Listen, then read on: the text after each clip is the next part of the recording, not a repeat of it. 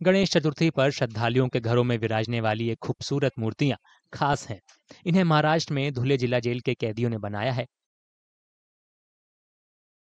ये मूर्तियाँ ज़िले के 10 कैदियों के लिए आमदनी का ज़रिया है। खास बात है कि ये मूर्तियाँ इको फ्रेंडली हैं।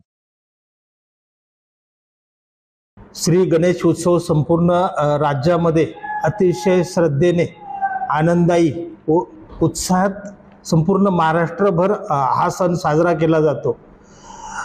यासाठी खुले कारागृहातून जे बंदी येथे वर्ग झालेले आहेत त्यांच्या हाताला काम आणि रोजगार यामधून उपलब्ध झालेला आहे. माननीय श्री प्रशांत बुर्डे सर त्याचप्रमाणे विशेष पोलीस महानिरीक्षक श्री जालिंदर सुपेकर सर यांच्या प्रेरणेने हा उपक्रम आम्ही येथे राबवित आहोत.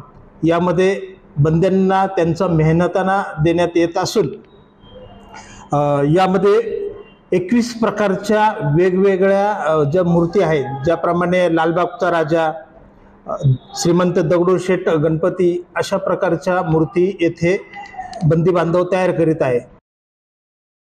जेल अधिकारियों के मुताबिक, इस साल 501 मूर्तियाँ बनाने का लक्ष्य है।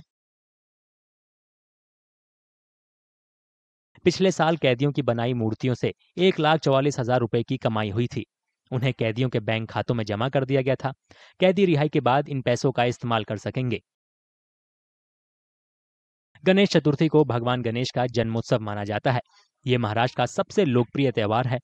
दस दिन चलने वाला त्यौहार सात सितंबर से शुरू हो रहा है।